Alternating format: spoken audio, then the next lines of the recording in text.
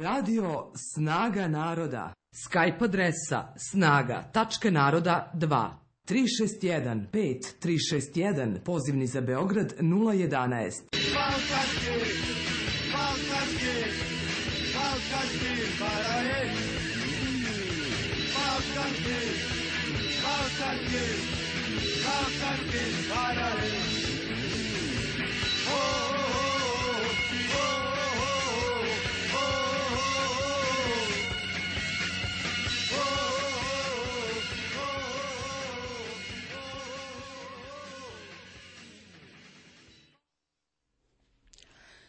Poštovani slušalci, dobroveče. Moje ime je Aleksandra Milenković, a vi slušate Decivilizator, emisiju iz kulture. Moj tonski snimatelj Aleksandra Arsović i ja ćemo se potruditi da vam narednih sat vremena bude ugodno. U prošlim emisijama sam govorila o perjanicama srpske avangarde, Ljubomiru Miciću i Milošu Crnjanskom, o njihovim časopisima, zenitu i idejama. Kada se jednom otvori ta tema, teško se zatvara. Jedna ličnost nas neminovno vodi ka drugoj. Večeras govorit ću vam o čoveku za koga verujem da svi znate, no nedovoljno dobro. O Stanislavu Vinaveru. Široko je polje srpske avangarde i pre nego što pređem na Vinavera, a pošto sam odlučila da jednim serijalom obuhvatim našu modernu, reći ću vam neko slovo o prilikama koje su tada vladale u Srbiji, a i u kraljevni Srba, Hrvata i Slovenaca, i koje su iznedrile sve ove pomalo zaboravljene veličine naše kulture. Osporavanje, kome su bili skloni mladi pisci, nije međutim dolazilo samo od opšte skepse, izazvane surovim i za mnoge traumatičnim ratnim zbivanjima. Ono je bilo i deo programa novih književnih pokreta, čiji su manifesti preplavili evropske književnosti, najpre u oči rata, a onda i posle rata. Svi ti brojni pokreti ponikli u raznim zemljama slili su se u jednu opštu stilsku formaciju, za koju se ustalio naziv avangarde. Avangardna književnost je kao i avangardno slikarstvo i muzika iz istog vremena zapravo osporavala tradicionalne umetničke norme i oblike. Obuhvata period od kraja Prvog svetskog rata do početka Drugog svetskog rata. Gojko Tešić u knjizi Srpska avangarda kaže da bi avangarda u konkretnom slučaju bila odrednica za poetički radikalizam, dakle za jedan tip stvaralačke prakse koja se temelji prevashodno na negaciji tradicije, nepriznavanju klasičnih pesničkih obrazaca, na sveopštoj destrukciji modela i načela, forme i sadržane. Tako kaže Tešić i da tako definiše avangardu. Modernizam ili avangarda u srpskoj književnosti podrazumeva niz vrlo dinamičnih strujanja između dva rata. U njegovom pojavljivanju i trajanju razlikujemo dva razdoblja. Pred avangardizam od 11. do 14. i pravu avangardu od 19. do 25. godine. Prvi znaci avangardizma započeli su razaranjem moderne i obračunom sa njenim teoretičarima i kritičarima, Jovanom Skerlićem i Bogdanom Popovićem, pobunom protiv Popovićevih merila, koja je uspostavio u predgovoru za svoju antologiju novije srpske lirike. Te iste godine Stanislav Vinaver, najdosledniji pobornih novih poetika i slobodnog stvaranja, bez ikakvih kanona, počinje da objavljuje svoju pantologiju kojom parodira i na sebi svojstven način ismeva Popovićevu antologiju, a što će 1920. godine rezultirati knjigom Pantologija nove srpske pelengirike. Na njegove strani će se naći i pesnik i kritičar Svetislav Stefanović, koji će energično ustati u odbranu originalne i izuzetno moderne poezije Vladislava Petkovića Disa od pogromaških napada Jovana Skerlića. Valja da se podsjetimo, period do Prvog svetskog rata je bio period uspona naše kritike, a glavni predstavnici su bili Bogdan Popović i Jovan Skerlić. Budući da su oni bili i urednici srpskog književnog glasnika, časopisa koji je propisivao dobro u književnosti, jasno je zašto se njihova kritika cijenila. Disova sanjarska poezija se nije uklapala u program koji je propagirao Skerlić. Po njegovom mišljenju, književnost je morala da služi društvenom progresu i da budi nacionalnu savest. A tu se zadesio nesrećni dis sa Nirvanom, Tamnicom i drugim pesmama. I tako je nastala najstroža kritika u našoj književnosti, a da nije bila kritika samo pesništva, već i disa kao čoveka. No samom činjenicom da je pisao o disu, učinuo mi uslugu. Skerlić je znao da disova poezija vredi, ali zbog funkcije koju je pripisao književnosti nije mogao da dopusti da se lažni modernizam širi. Tako je on to imenovao, lažni modernizam. Zato na sebe uzeo da napiše kritiku u- disovih utopljenih duša, ako ne zbog toga što je književno delo, a ono svakako s toga što je književna pojava. Skerlić Disovu poeziju naziva poezijom dekadencije, a samog Disa ironično naziva porokom, prokletstvom, zlom, fatalnošću, paklom, kainom, pa i sotonom. Zamera Disu što je u svoju poeziju unosio stvari iz ličnog života, to što je i najsitnije detalje iz svakodnevnice slikao u poeziji, kao i neprestano posmatranje samog sebe. Pesnikova muza Divna bludnica je nezamisliva inspiracija za Skerlića. On smatra da je to poezija duševne bolesti, a ne duševnog bola. Iako bi u ovakvim situacijama mogla da mu posluži Disova biografija, on ne poseže za njom. Iako bi mu ona i objasnila zbog čega takav pesimizam, mrak, sanjalački ton, iracionalne vizije. Skerlić je mudar i upotrebit će je kada mu to najviše odgovara da se omalovažavanjem posmatra Disovo školovanje, način života i pesništvo. U toj kritici Dis je osuđivan jer mu je nedostajala pesnička kultura, poznavanje stranih jezika, čime se mogla pohvaliti većina tadašnjih pesnika. I tu je Skerlić uspeo da zada udarac, našavši tragove Bodlera i Verlena kod Disa. Osuda je sad bila da podražava, ali iz treće, četvrte ruke. To jest da pošto nije znao francuski jezik, on je preko Hrvata, koji su preko Čeha, a ovi preko Nemaca, primio tu novu umetnost i njen uticaj.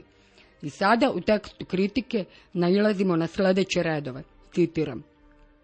Ali kod Petkovića pozajmica je još dalja. On je nekultivisan čovjek, koji je malo čitao, koji malo zna, koji se nije makao dalje od Zemuna i manjeno iko je u stanju da nam da nov izraz moderne duše koja je tako složena i moderne umetnosti koja je u tolikoj meri intelektualna. Skerlić koristi svaku moguću priliku da omalovažavi, omalovaži Disovo školovanje i zdrav razum. Naziva ga bunovnim čovekom koji se nije istreznio i koji u takvom stanju stvara poeziju. Nije sve što je redko dobro, piše Skerlić, kritikujući Disov pokušaj originalnosti, navodeći da će on uvek ostati tu da pokušava samo da bude originalan. Kada se odvoji svakom ono što pripada, takav izgleda Petković, naš dekadent, modernist i tvorac nove umetnosti. Njemu treba priznati da ima izvesnih asimilatorskih sposobnosti, da može da uđe u tuđe osjećanja i da primi tuđi ton. Dakle, Skerlić u Disu ne vidi ništa osim nagomilanih podražavanja pesnika koji vrede njihovih dela i njihovih ideja po njegovom mišljenju. Dis je samo još jedan u nizu podražavalaca, a Skerlić je našao za shodno da upozori na sve njegove nekvalitete. On je upozorio na knjigu koja je poslednji i najgori izraz jednog književnog pokreta bez smisla i osnovice. Valjalo je makar i u negativnom tonu ukazati na nju, jer to je jedna rđava stvar i treba sprečiti mlade da u svemu što je drugačije vide novo i naprednije. Ova knjiga, kaže Skerlić, sadrži sve moralne i duhovne bede kojih se treba kloniti, sve gluposti koje treba zaobilaziti i zato po savetu gospodina Skerlića treba prihvatiti tenovu odredbu poezija to je zdravlje.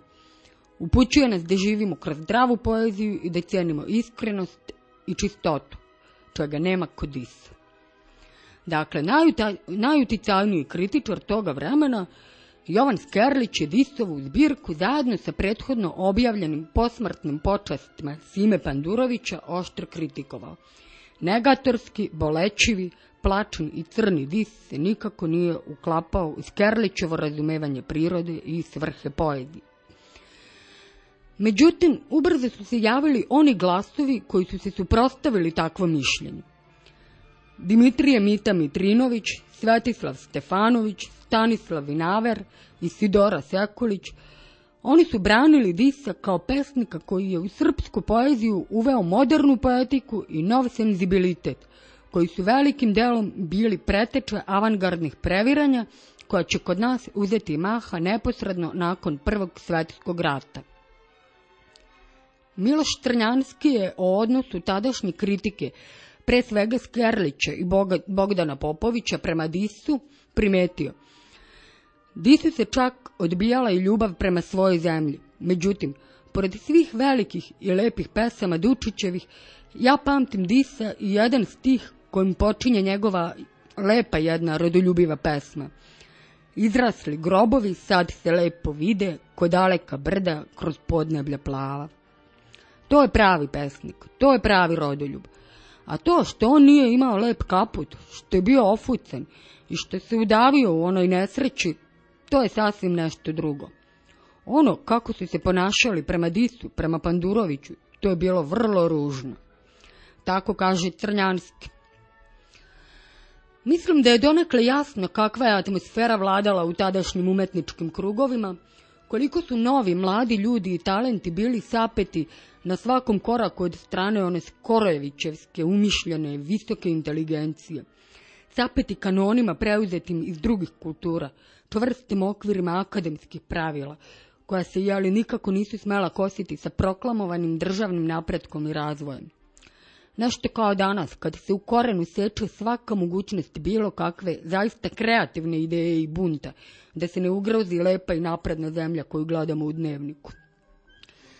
Samo što ti ljudi nekada bili su mnogo bolji materijal nego mi danas. Nisu se dali tako lako slomiti.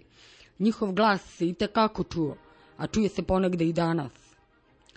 Realno, kad pogledam našu današnju kulturnu scenu, ne vidim nikoga koga će ljudi pamtiti za nekoliko decenija, kamoli za stotinu godina. Marka Vidojković, Basaru, Isidoru Bjelicu. Razne piskarala koja su otkrila svoj divni pljuvačko-vulgarni ili patetično ispovedni spisateljski talenat, obično posle neke voditeljske karijere. Gromko će se nasmeti. Da se vratimo mi avangardi naše. I na državnom nivou ništa nije bilo kako je trebalo da bude. Srpska pobeda na bojnom polju se pred njihovim očima pretvarala u politički poraz u novoj državi. Zato ne čudi taj silni urlik novih srpskih barbarogenija koji se prolomio u, Srps, u srcu Balkana. Vrlo brzo okupile su se oko pojedinih glasila grupe pisaca koje su bile bliže futurizmu ili dadaizmu, a nešto kasnije i nadrealizmu. Pored ovih internacionalnih pojavili su se i domaći pokreti kao što su zenitizam i hipnizam. Osnivač prvog, o kome sam govorila, Ljubomir Micić, pokrenuo je časopis Zenit, koji je okupio saradnike iz raznih zemalja i postao prvi internacionalni časopis za književnost i umetnost. Osnivač drugog, Rade Drejinac, značajniji je kao pesnik, a pokrenuo je 22. Hipnos, jedan od karakterističnih efemernih časopisa. Desetak godina burnog književnog života ispunjeno je mnogim polemikama, manifestima, kao i eksperimentalnim tekstovima koji su mahom dela kratkog veka, ali su u isti mah nastala i dela trajne vrednosti. I što je najvažnije, u vreme kada su gotove sve književne konvencije podvrgavane sumnji, formirali su se neki od najkrupnijih pisaca 20. veka. Međutim, pravi avangardizam započeo je 1919. godine sa pojavom Miloša Crnjanskog i njegove knjige Lirika i take, koja je donala novo shvatanje pesništva, novi ideal pevanja, nove teme i zvuk. Lirika i bila je znak apsolutne pobune protiv postojećeg kako u svesti čoveka, tako i u književnosti. U književnim inovacijama dalje je išao Rastko Petrović, U otkrovenju 1922. godine napušta sva obeležje starog stiha, a u romanu sa temom o životu starih slovenskih božanstava, burleska gospodina Peruna Groma iz 1921. godine, razbija jedinstvo radnje, vremena i prostora. U književnim inovacijama takođe dalje idu i Dimitrije Mitrinović, Ranko Mladenović, Sibe Miličić. U stvari možemo da sumiramo. Srpsku avangardu obeležili su razni pokreti, grupe, časopisi, oštre polemike. Pored primarnog pravca ekspresionizma rađaju se mnogi izmi. Futurizam pomenutog Mite Mitrinovića, sumatraizam Miloša Crnjanskog, kosmizam Ranka Mladenovića i Siba Miličića, dadaizam Dragana Aleksića, zenitizam Ljubomira Micića, hipnizam Rade Drajinca, Izlazi i mnogi časopisi u razdoblju od 19. do 25. godine, kao što su Zenit, Putevi, Hipnos, Dada Tank, Svedočanstva, Miseo i Vreme. Osnovne karakteristike srpskog avangardizma će biti sukob sa starima, prvenstveno s Kerlićem i Popovićem, i odbacivanje pokušaja da se stvaraju kanoni ili određuju načini po kojima bi se stvaralo. Odbacuje se Skerlićevo shvatanje po kome pesma treba da izražava optimizam, da bude zdrava, socijalno i patriotski obojena, kao i Popovićev zahtev da pesma treba da bude cijela lepa. Jer po modernistima to su šljokice i džinđuve koje treba odbaciti. Odbacuju se gola impresija i stvaranje se vezuje za ekspresiju, za novo osjećanje sveta. Negira se racionalno, ide se za slutnjama, intuicijom. Traži se ugledanje na umetnost drevnih, primitivnih i divljih naroda, jer je civilizovan čovek suviše sputan tradicijom. Teži se slobodi čula i zanosu tela.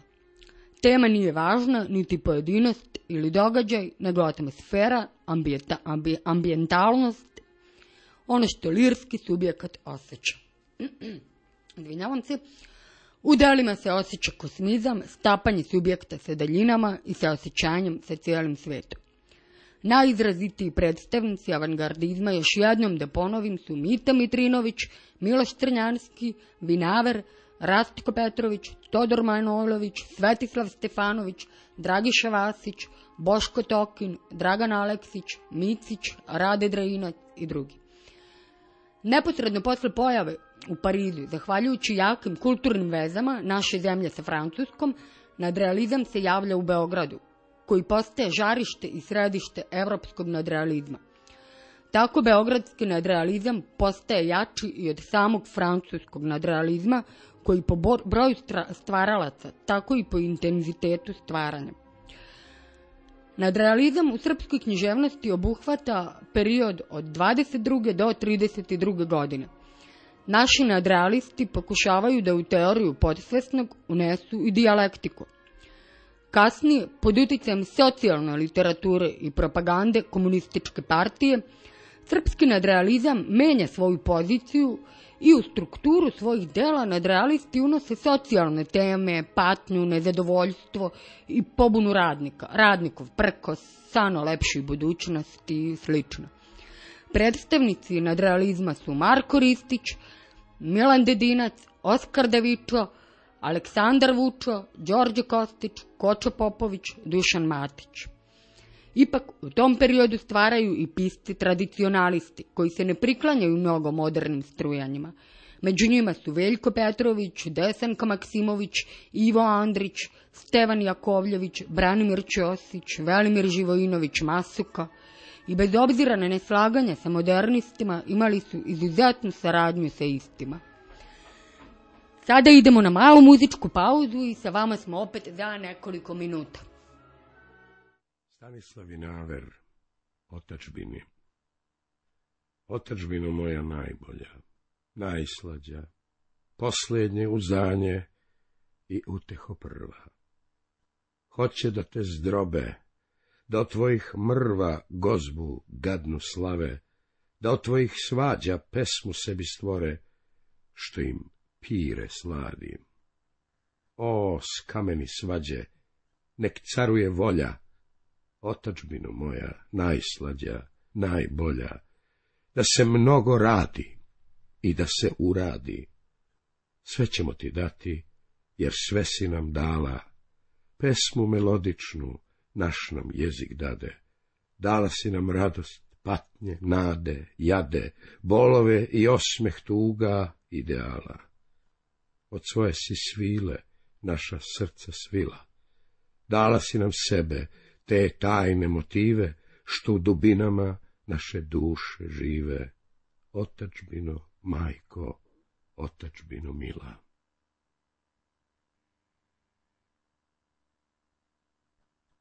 Stanislav Vinaver, ostavi. Ostavi, ostavi, makar svisno sumnje bolećive teške pokornosti. Preni se, preni se, srce stisnuo tragom potonolim gluhe sumornosti. Dolaze, dolaze tamnim klepetom izvori pradrevni veče sanjarije. Svet nam je, svet nam je stare igrarije zanesen vekovnim gluhim trepetom. Čuješ li? Vidiš li tajnih tokova gde se rasklapaju grudne bezdani? Sanjaš li? Slutiš li slatkih sokova, strahovit, lekovit zanos zvezdani? Stanislav Vinaver Vizije pred skadrom Hteo sam vam reći, sa pozdravom brata, najmirnijom reči, tiho, sa svog mesta, pojmova beskrajnih zamišljena jata i letenja mnoga, skromno i bez gesta.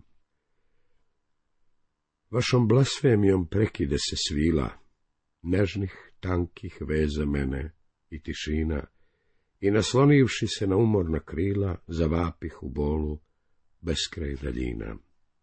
Zavapih za snagu i zvon jasnih glasa, i za gest široki i prostran koplima, jer reče su bile nadanje i spasa, a hteli ste silno i svetlo i svima. Jer pretihi značaj dat meni i smiso nebehu za masu da ruši islama, jer za hujno more treba hučna miso, a za požar patnje treba govor plama. Isklopivši ruke, molio sam smerno daljinu sestrinsku da da reči nove za vas, tamna braćo, moć za neizmerno i glasniji zamah i svetlije snove. Stanislav Vinaver iz speva Nemanja, prolog Pevam prastaru neku istoriju, duhova davnih seni gorostasne, pevam pradrevnog doba simfoniju. Jeknite strune, vite strune glasne, u vreme naše prolaza imena, u bolno vreme odbačene basne. I sitnih ljudi, i frivolnih žena, budite reči ko bujice strasne što krše otpor od tromelih stena. O reči moje, tešiteljke kasne, vas samo imam posle sviju tuga, obući vas u odežde jasne. U kose daću sunaca i duga, u oči plave, kad mislene glednu, uneću bola, smeha, vidokruga u dušu vašu mladost, novu jednu, naivnost mladu, nad kojom se čude, radosnu setnu, raskalašnu, čednu. A sad slušajte šta će da se zbude. Monotonosti malog osjećanja. Krenimo misli sred davnih vremena u doba ono gordo prostih znanja i jednostavnih muževa i žena. O kako danas u bezmerju mnogom prepliću nam se nijanse, finese, i nema vihra zavitlana Bogom, čudljive srđbe, duše da uznese. Vihri i munje, gromovi strasti, ovi pradrevni, naivni, daleki, danas je samo maleno u vlasti. Sve mržnje sitne, osmesi, svi meki. Divni su snovi i kroz cik računi i cilj, cilj koji blista u purpuru. Vihre, o vihre pustara, ti duni, bura predznače, razuzdaj nam buru. O ne muzike četvrtine tona, beskrajno malog, sitnih, bledih masa, nečeg prostog, ko plač drevnih zvona, uzdah jezerskih gibljivih talasa. Bacih daleko sebe ko celinu, u šum se neki nama sličan skriti, u mora nekog opštega dubinu, postati deo, ne biti i biti. Mi se čudno разумемо Ко два бола, ко два вала Ко два стиха исте песме Ја те волим чудно немо И све ствари снови увек polagano nadolaze I kad nisi pored mene Ja te volim čudno nemo Mi se čudno razumemo Mi se čudno razumemo Pogled ima mesto reči Među nama nema tajni. Ja te volim čudno nemo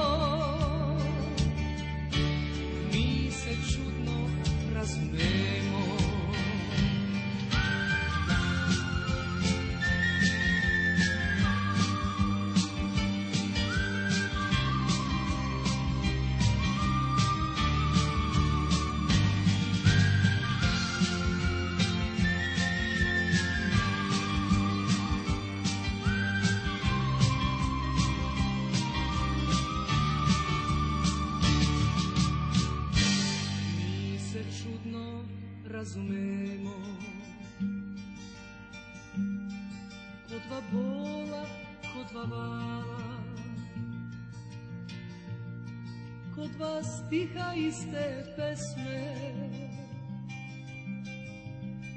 Ja te volim. Polagano nadolaze. I kad nisi pored tajni. Ja te volim čudno nemo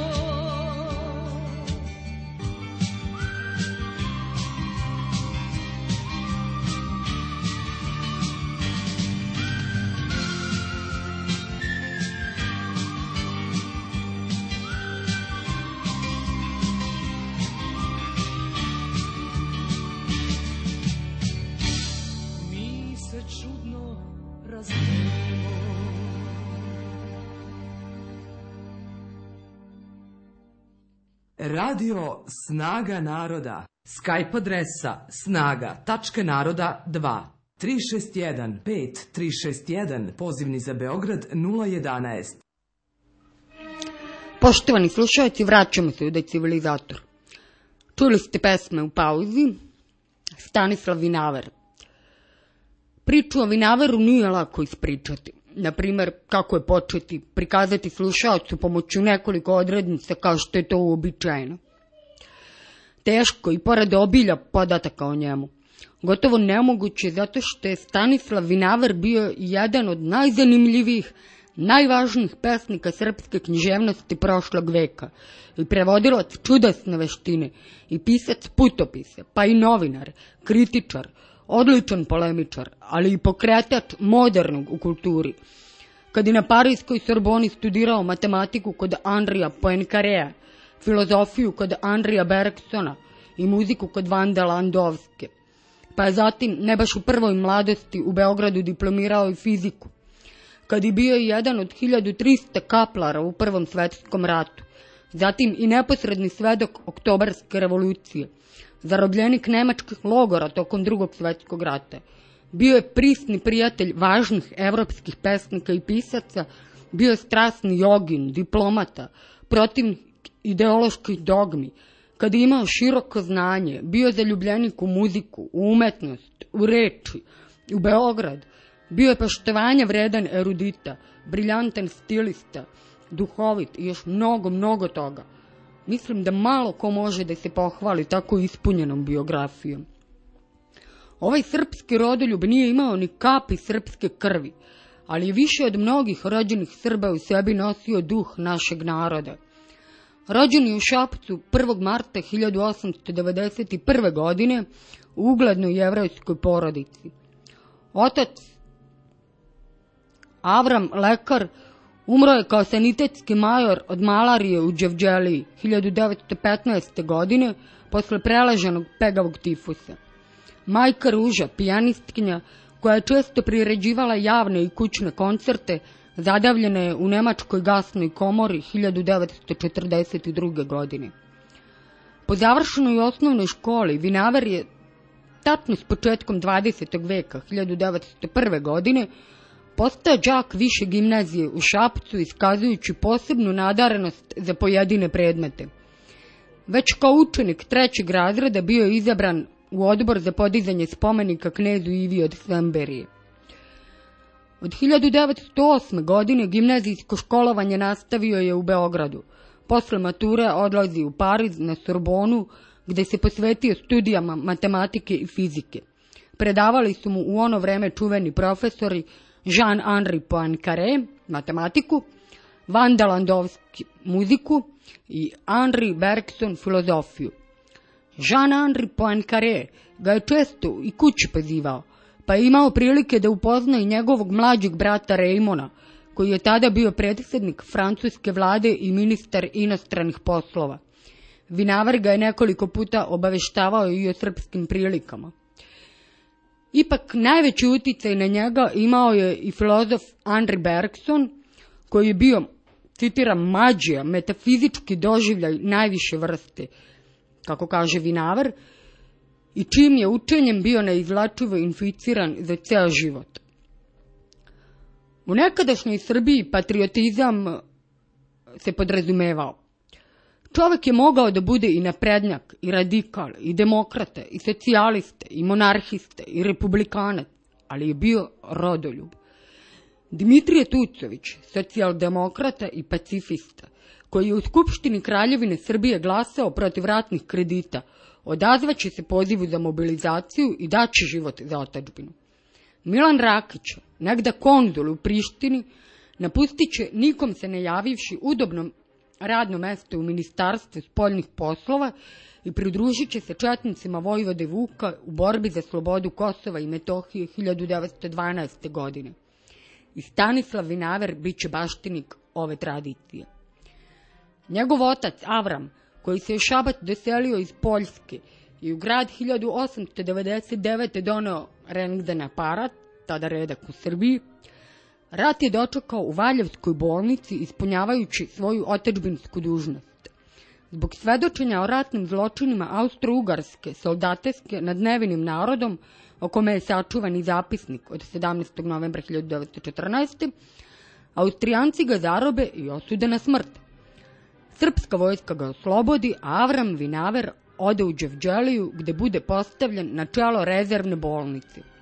Preležao je pegavi tifus, ali se razbolao od malarije i umro 24. avgusta 1915. godine. Po sobstvenoj želji sahranjen je sa srpskim vojnicima u zajedničkoj grobnici. Stanislav, dostojan svog oca, 1914. godine učestvuje u formiranju čuvenog Skopskog đačkog bataljona 1300 kaplara i kreće u borbu. Da bi sa majkom Ružom, takođe poljskom jevrejkom, prešao albansku Golgotu i došao na krv gde objavljuje prvi deo speva Nemanja. Tu je 1916. godine bio postavljen za adjutanta pristaništa na Krfu, adjutanta u Srpskom ratnom presbirovu i urednika srpskih novina. U obavljanju brojnih poslova bio je neumoran. Sve je stizao i završavao. Obilazio je pristanište, lađe, logore, bolnice, ustanove za snabdevanje. Nalazio se pri ruci svakom srpskom vojniku koji bi sa kakvim trebovanjem u pristanište pristigao. Pribavljao je propusnice za ostrvo Vido onome koji brata godinu dana nije video. Rešavajući brojna pitanja, lično je išao francuskom komandantu baze, katkad i bogoradao, ali je u svojim namerama uspevao. Držao je mnogobrojne veze sa visokim savezničkim oficirima i podoficirima, komandantima, engleskim magacionerima, osoblje mlađa koje su često plovile u Francusku i gde je uvek trebalo nekoga ubaciti. Na krfu je upoznao profesora Slobodana Jovanovića, koji je bio na čelu Srpskog ratnog presbiroa i predano radio na izradi spiskova poginulih i pomrlih srpskih vojnika. Kako je Evropu i svet trebalo upoznati sa patnjama i stradanjima srpske vojske, Slobodan Jovanović u 1916. godine u Francusku i Englesku uputio filozofa Branislava Petronijevića, vladiku doktora Nikolaja Velimirovića i Stanislava Vinavera. Iz Pariza po nalogu Nikole Pašića 1917. godine Vinaver je upućen u Petrograd u svojstvu prevodioca srpske diplomatske misije. Misija je stigla u Rusiju koji mesec pred početak oktobarske revolucije, pa je on bio očevidac i ovih događaja. U Petrogradu je Vinaver najviše radio na pribiranju dobrovoljaca za Solunski front. Činio je to tako predano da su se mnogo dobrovoljačke jedinice nazvale Vinaverovim četama. Tu ga zatiče bolševička revolucija, a na povratku kući 1919. godine podporutnik Vinaver je poveo poslednju četu jugoslovenskih dobrovoljaca iz Rusije. Išli su preko Carigrada međunarodnim vozom kroz Bugarsku, bez prava na napuštanje vagona u stanicama. Po redu vožnje, voz se u Sofiji zadržavao dva sata. Koristeći bugarsku nebudnost, Vinaver je postrojio svoju četu i poveo je u grad. Kad je četa ušla u Slavijansku ulicu, naredio je strojevi korak, kojim su išli sve do crkve Svete nedelje, gde je sa svim vojnim počastima, sem plotuna, odata pošta moštima svetog velikog kralja sve srpske zemlje Stefana Uroša II. Milutina. Kad su Bugari dočuli šta se događa, Vinaverova čata je već bila u vozu koji se približavao Nišu. Bugari su ovo shvatili kao veliku aroganciju pobednika nad pobeđenim i teško kršenje mirovnih odredaba. Pretili su međunarodnom arbitražom, tražili kazne za vinovnike ovog događaja. Bilo je još potrebno dosta diplomatskog takta kako bi se stvar nekako zataškala. Iz tog vihora kreću vihor avangardnih pokreta u novoformiranoj kraljevini Srba, Hrvata i Slovenaca. Kao svedok epopeje 1300 kaplara, koautor je knjige Skopski džački bataljon, izašle u oči novog rata 1941. U njoj govori o mladičkoj veri svojoj i svoje generacije. Kaže ovako, pravi razlog ratu, hm, imali dubokih i komplikovanih, To za nas, Srbiju, ne važi. Bar ne moramo misliti. Mi se borimo iz bilja za slobodu i da ostanemo verni sebi. To je izgleda mi sasvim lako. Mnogo bi mi teže da sam ma koje druge nacije, koja se možda bori zbog pijace i akcija bilo. Zato ću sasvim lako poginuti, ako to zatreba, ne smatrajući da mi je ma ko podvalio, ne bojeći se budućeg istoričara i njegovog suda tako kaže Stanislav. Kao novinar, Vinar, Vinavar je bio koncizan, kratak, jasan. Umeo je vest da sažme ono što je najbitnije. Bio je vešt u ocenama i siguran u procenama. O svemu je bio obavešteniji od ostalih i donosio je vesti do kojih drugi nisu mogli doći. Sem vremena novinarstvom se bavio u Radio Beogradu i centralnom pres birovu, a do drugog svetskog rata sarađivao je u brojnim listovima i časopisima kao što su Zvono, Bosanska vila, Nada, Srpski književni glasnik, Delo, Brankovo kolo, Nova iskra, Štampa, Narodno jedinstvo, Listići, Pijemont, Zvezda, Srpske novine, Zabavnik, Sloboda, Književni jug, Dan, Progres, Dunav, Republika, Zenit, Epoha, Hipnos, Misao, Putevi, Novi list, Vesele novine, Almanah Branka Radičevića, Jevrejski život, Vreme, Pravda, Književni polet, Ideje, Srpski književni glasnik, Slavenski Jadran, Glasnik rezervnih oficira i ratnika, Nova smena, ma ne zna im se kraj.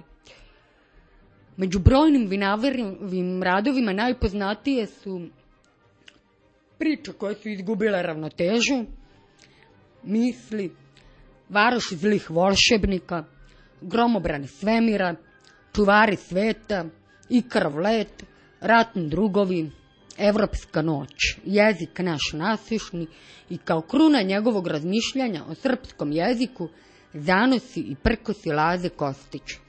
U ovoj poslednjoj knjizi, za koju je Vinavar vodio veliku bitku i za života nije mogao da nađe izdavača, autor je polemičkim majstorstvom do vrhunca doveo svoje kritike srpskog kulturnog mediokritetstva i mitomanstva. Iako je pokazao da se može biti modern u kontekstu nacionalne kulture, on je i posle toga još pola veka ostao neshvaćen, potiskivan i prećutkivan, pa su zanosi ponovo štampani tek, nećete verovati, 2006. godine. Iz njegov, njegovog čuvenog manifesta ekspresionizma, a koji se nalazi u knjizi Gromobrani svemira, izdvojit ću neke delove. Evo, na primjer, citiram, Mi smo svi ekspresionisti. Mi svi uzimamo stvarnost za sredstvo svoga stvaranja. Nama je cilj stvaranje, a ne ono stvoreno. Ono što je stvoreno, stvorila je priroda po svojoj logici, pod imperativom svoje psihologije. Od prirode mi tražimo ne tu logiku i ne tu njenu psihologiju. Uzimamo i njih, pa kad kad kao jednu igru našeg stvaranja. Od prirode zahtevamo da nam da elemente, ono što je od nekog i ona nasledila, a možda i otela. Mi te elemente formiramo uz pregove misli, uz pletove osjećanja, uz spoj svetova, u dinamičnost duhovnog bivanja, koje ide preko neke organske konkretnosti. Mi smo stvaraoci, kao što je i prirode, i svi su, kada su bili najveći, stvarali svet, a ne rekonstruisali svet, gradili vaseljenu, a ne precrtavali ono čemu je u najboljem slučaju drugi Neymar dao polazne mogućnosti. Mi i obaramo sami sebe, jer mi kao i priroda nalazimo zadovoljstvo ne u konačnosti jednog postignuća, već u periodičnosti pobede i poraza. To piše u manifestu između ostalog. Ekspresionizam, pokret koji se javio kao suprotnost profinjenom, estetizovanom i individualističkom impresionizmu, želeo je da izrazi ono što je primarno, iskonsko u čoveku. U ekspresionizmu umetnost je krik za neposrednim životom i treba da bude oslobođena svih stega, a najviše onih koji potiču iz same stvarnosti. Vizija je uvek jača od same stvarnosti, ukoliko stvarnost uopšte postoji za umetnika, naveo je Vinaver. U ekspresionizmu dolazi do mešanja žanrova, do stapanja poezije i proze, do stvaranja hibridnih žanrova. Naši ekspresionisti najpotpunije su se izrazili u graničnim formama, u slobodnom stihu i poetskoj prozi. Proza koju stvaraju ekspresionisti po svojim je bitnim obeležima poetska, lirska. Cveteli su razni žanrovi poetske proze, poetski putopis, poetski esej, poetska pripovetska, poetski roman i tako dalje. Dok sam čitala časopis Ideje, kada sam spremala prošlu emisiju, zapazila sam Vinaverove članke u kojima je pisao Jovanu Skerlić. U jednom tekstu pod nazivom Skerlić kao vrhovni sudija Stanislav piše zanimljivo svedočenje, poslušajte, citiram. Njega su stvarno obožavali. Sjećam se kako su ga studenti i gimnazisti gledali kad ide ulicom. Učenice su ga očima gutale. Njihova lica preobražavala su se gledajući Skerlić.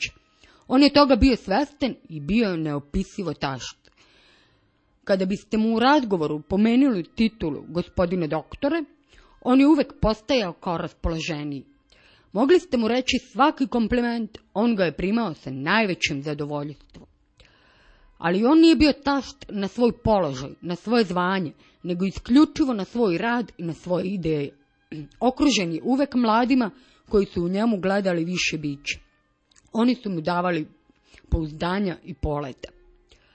Ja sam vrlo često i mnogo razgovarao sa Skerlićem.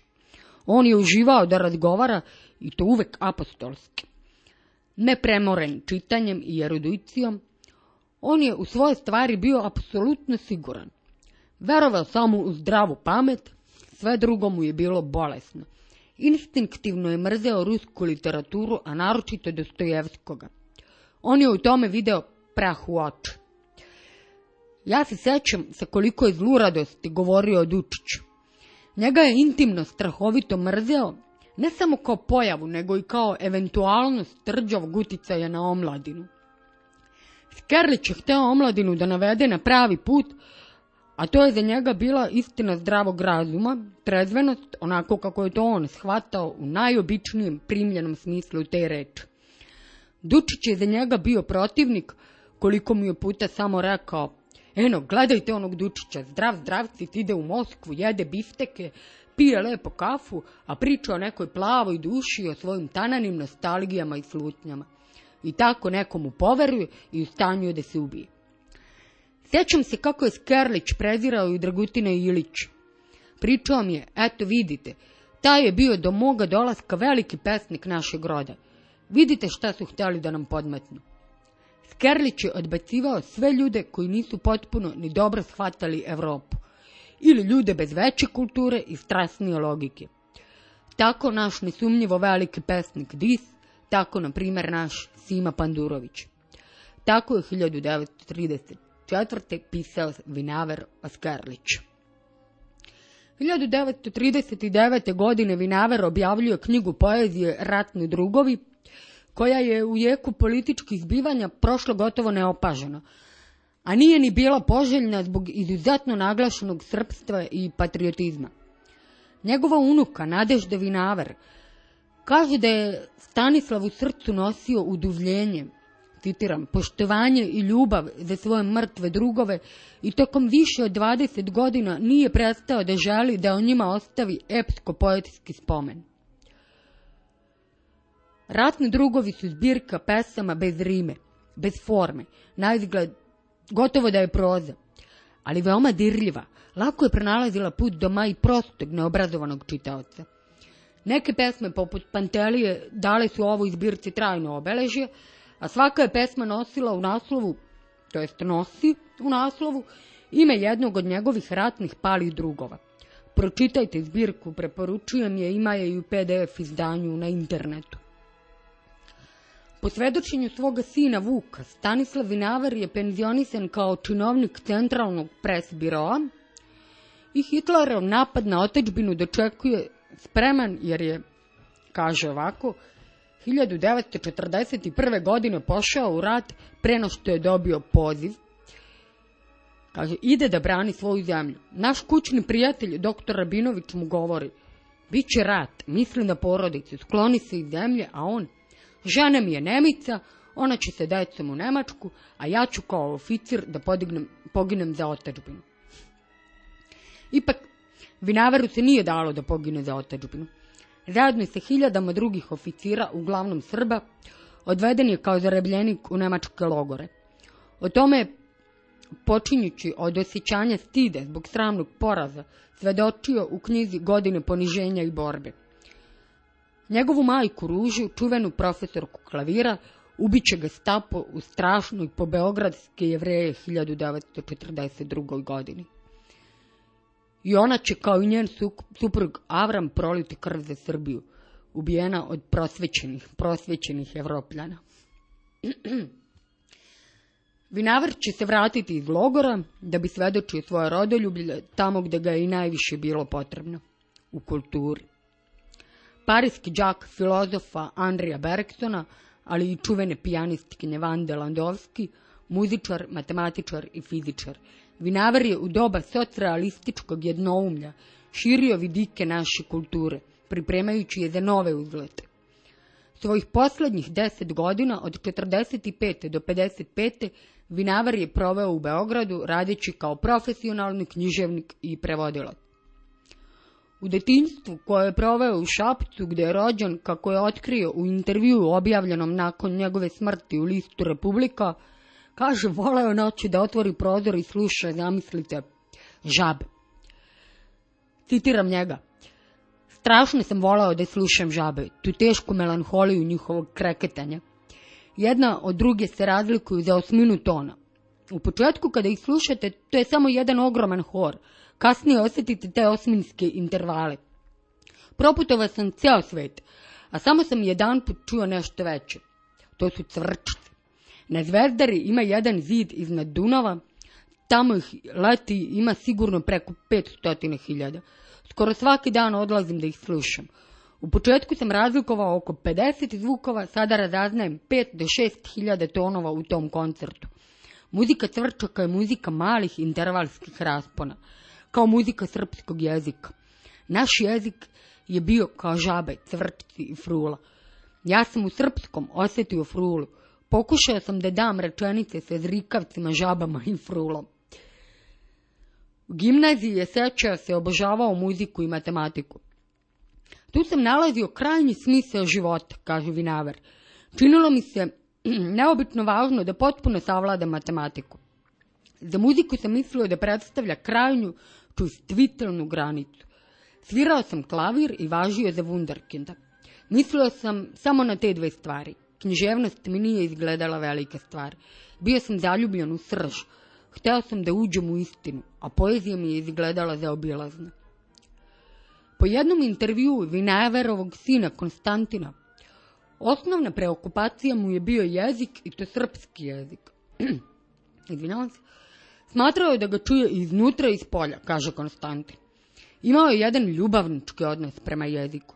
Samo u tekstovima o rečima Vinaver ističe svoja osjećanja prema temi, a u oni, onima drugih tema prevladava intelektualac, naučnik koji svoje mišljenje ili ocenu iznosi prvenstveno pomoću činjenica. Na primjer, u eseju jezičke mogućnosti slikoviti izrazi sugerišu da Vinaver iz dna duše želi da ubedi sagovornika pod jezikom ne treba razumeti prinovu u rečima i poštovanje ove ili one sintetičke finoće. Pod jezikom valja šire shvatiti žubor jezika, matice u njemu, ubrzanje, usporenje, tok, šum, tempo, ubedljivost, talasanje, dinamiku jezika. Celog života mu je bio najveći problem kako ući u suštinu melodijskog u srpskom jeziku, a zatim kako iz nje izaći. Smatra da reči nisu ništa, melodija je sve. Kad kažete recimo sve, sve, ali zanat. Ideja nam je jasnija da jasnija ne može biti. A mogli ste da za istu stvar upotrebite grdne reči da biste je objasnila. Toliko o jeziku i vinaveru. Najveći sukob između vinavara i pisaca konzervativnog mišljenja, pre svih sa Mihajlom Lalićem, Milanom Bogdanovićem i sa Markom Ristićem, zbio se na izvanrednom plenimu Saveza književnika Jugoslavije u novembru 1954. godine. U svom beogradskom ogledalu Vinavar je obavestio čitaoce da je plenum trajao četiri dana, da su referenti bili unapred određeni, pa je svaka improvizacija bila isključena, odnosno da nije bilo živih akcenata i da je nedostajala vibracija istinske žive reči. Napad na svoj rad opisao je ovako. Kada sam na kraju diskusije zatražio reč po litnom pitanju, jer sam bio očebrsnut, tako kaže, kao začetnik našeg književnog meteža, kao čovek koji je uneo atome i teoriju relativiteta u našu pesničku tematiku, tako često mi je oduzimao reč u slitnim prilikama, ovaj mi je put ne bez dva prekida dopustio da se i moje mnjenje sasluša. To mnjenje je išlo u prilog modernoga, velikog zamaha književnosti na zapadu. Raša Popov, književnik, Sjeća se da je tada sa kolegama studentima uživao dok su naglas po hodnicima filološkog fakulteta čitali stenogram Vinaverovog odgovora na Lalićev napad da je u srpsku poeziju uveo atome. Parafraziram, kaže Raša, posjećan. O, surovi Lalić, zašto si napao Demokrita? Laliću, Laliću, za mene je najveća čast što si me proglasio za atomskog pesnika. Nemam ja toliko snage koliko mi ti pripisuješ. Objašnjavajući da je stvarnost puna pokreta, sunovrata, snova, čežnji, borbe, slutnje, pa je zato jezik, tvrdio je Vinaver pred svojim neistomišljenicima, nedovoljno sredstvo da bi se objasnila i zato pribegavamo abstrakcijama. Nepunu godinu dana nakon tog događaja u poslednjem intervjuu rekao je Kada ja govorim u udruženju književnika, napadne me njih 20. Ja ih sve poklopim, a moj govor ne izađe u novinama, nego samo napišu da je Vinaver govorio zabavno. List politika je pre nekoliko godina prenao jednu zanimljivu skicu iz njegovog života.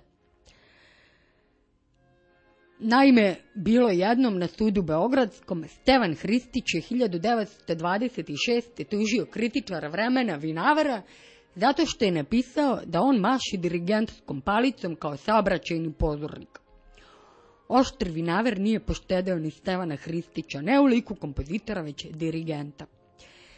Jednom je ovaj tadašnji direktor Beogradske opere ocene kritičara doživao kao tešku uvredu i tužio ga sudu. Stanislav je sebe britko branio veličanstveno, no sud se na to nije obazirao i donao je presudu. Kritičar je morao da plati hiljadu dinara globe i da odleži tri dana zatvora. U završnoj reči Vinaver je govorio o važnosti kritičara i ilustrovao to primerom kada je poznati kompozitor Anton Bruckner bio u audijenciji kod cara Franje Josipa, a ovaj mu ponudio šta god zaželi, Bruckner ga zamolio samo za jedno. Ako je moguće da ga muzički kritičar Hanslik manje napada. Duhovito, britko i duboko inteligentno. Jedna engleskinja, Rebecca West, koja je Jugoslaviju posjećivala u oči drugog svetskog rata, opisala ga je kao oduševljenog Srbina, evropljanina, koji je njoj i njenom mužu na Kosovu polju zaneseno pričao o i Muratu, Obiliću i Vuku Brankoviću. Glasom potpuno uvernog čoveka pred Gračanicom im je rekao Zastaćemo u Gračanici, crkvi koja se nalazi na ivici Kosova polja, ali ne verujem da ćete je razumeti, jer je ona za nas Srbe nešto posebno, a vi stranci to nikako ne možete shvatiti. Za vas je to i suviše teško. Mi smo pregrubi i preduboko za vašu prefinjenost i plitkoću. Zato su mnoge knjige napisane o nama u inostranstvu uvredljivo neistinite. Tu im je recitovao kosovsku epiku od Musića Stevana do propasti carstva srpskoga. Mogu zamisliti kako je to izgledalo. Kada je o staroj Srbiji govorio vizionarski, da će čitava dolina sve do Skoplja biti puna svetlosti i da ćemo biti bogati kao Manchester i Amerika. Na primedbu koja je trebalo da ga ohladi, uzviknuje. Pa zar ja nisam sam nešto uradio? Zar se nisam borio u velikom ratu? Zar nisam bio teško ranjen? Zar nisam i ja svojom krvlju zadubio Makedoniju? Zar ne treba onda da budem srećen što više nije pustinja i razbojište kakva je bila pod Turcima? Ko je dakle ovaj čovek? Da nije neki zadrigli srbenda koji zaslužuje crnu etiketu u nekoj novoj filozofiji palanke nekog novog Konstantinovića. Dakle, nije to bio primitivni kafanski šovinista, nego jedan od najumnijih i najhrabrijih tvoraca nove srpske književnosti, evropskih vidika. Gospodo, aplauz. Stanislav Vinavar, čovek institucija, pesnik zlih volšebnika, pripovedač priča koje su izgubile ravnotežu, estesta čardaka ni na nebi, ni na zemlji, parodičar pantologije, monograf zanosa i prkosa Laze Kostića, prevodilac hiljadu i jedne noći, Rabla, Geta, Poa, Bloka, Hašeka. On je objasnio našoj kulturi da je veličanstveni deseterac stvar prošlosti, jer se na njemu više ne može stvarati velika poezija, pošto jezične mogućnosti hoće dalje, hoće više. On je ukazao i na Momčila Anastasijevića kao na sveca srpskog jezika i srpskog književnog izraza. I o njemu ću govoriti u nekoj od narednih emisija.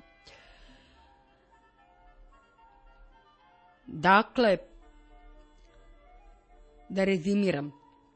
Ovaj dobrovoljac u prvom svetskom ratu pušku je uzeo i u drugom, ali je bio zarobljen, tamnovao u nekoliko logora, vratio se narušenog zdravlja, jedno vreme je radio u Tanjugu i Ježu, puno prevodio u nekoliko godina, imao čuvenu rubriku Beogradsko ogledalo, svoju vrstnu hroniku ondašnjeg kulturnog života.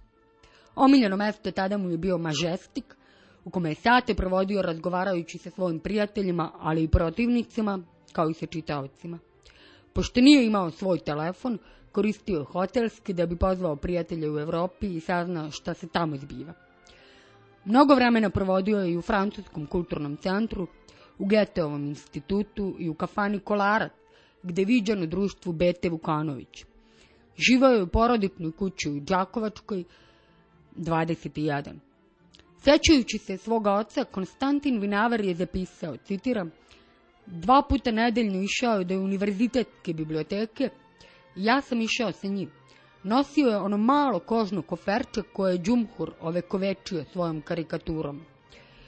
U njemu su bile knjige koje je vraćao da bi uzeo nove, ja sam to koferče nosio kući jer je bilo dosta teško. Posebno rado ga se sećam iz onih dana kada je mogao da boravi u bašti kuće u Đakovačkoj ulici. Obično je sedeo u pidžami preko koje je nosio specijalno vezan meki kućni kaput koji smo u šali zvali admiralskom uniformom. Satima je tako čitao i pisao. Volao je da ode u Nišku banju, da, kako je govorio, srce podmladim i krvotok osvježim. Tamo ga je srce izdalo 2. avgusta pre podne 1955. godine. Na nadgrobnom spomeniku na Beogradskom novom groblju ispisan je njegov epitaf, koji možda i ponajbolje portretiše i njega i njegovu generaciju. Kaže ovako, izgura smo, izgura smo, izgrca smo, ispliva smo, ispetlja smo, iskičma smo. Gde god cara stara zna smo, svakom obraz osvetla smo. Sve od sebe sobom da smo, ograšima obliste smo. Od agna smo, ogreja smo, kao sunce prosija smo, odole smo, otraja smo. Ostala je i priča koju je zabeležio Rade Konstantinović, da je na Vinaverovoj još sveži humci. Zuko Đumhur prstima nacrtao njegov lik kako se smeje lice okrenutog Beogradu i kako je pružajući napojnicu grobarima rekao Vinaver nije nikome ostao dužan, ni vama, ni onima.